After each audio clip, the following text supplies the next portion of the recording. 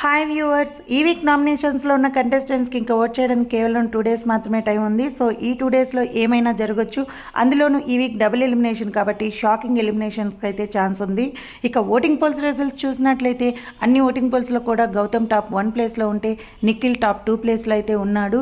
ఇక థర్డ్ ప్లేస్లో అయితే నబీల్ ఉన్నాడు. ఫోర్త్ ప్లేస్లోకి విష్ణుప్రియ వచ్చింది.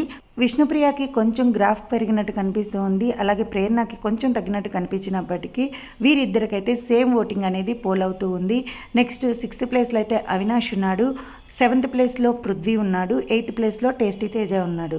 సో ఈ ముగ్గురు అయితే డేంజర్ జోన్లో ఉన్నారు. ఈ ముగ్గురికి ఓటింగ్లో కూడా పెద్ద డిఫరెన్స్ లేదు. అఫీషియల్ ఓటింగ్లో అయితే తేజ అవినాష్ వీరిద్దరు బాటమ్ టూలో ఉన్నట్టయితే ఇన్ఫర్మేషన్ వచ్చింది. సో మోస్ట్లీ వీరిద్దరు ఎలిమినేట్ అయ్యే ఛాన్సెస్ ఎక్కువగా ఉన్నాయి. మీ ఒపీనియన్ కమెంట్ సెక్షన్లో షేర్ చేయండి.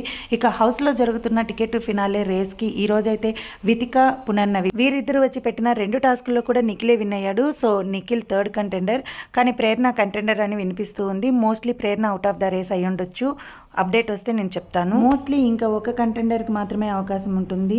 ఎప్పటికప్పుడు బిగ్ బాస్ అప్డేట్స్ కోసం మన ఛానల్ని సబ్స్క్రైబ్ చేసుకొని ఫాలో అవుతూ ఉండండి. వీడియో నచ్చినట్లయితే ఒక లైక్ ఇవ్వండి.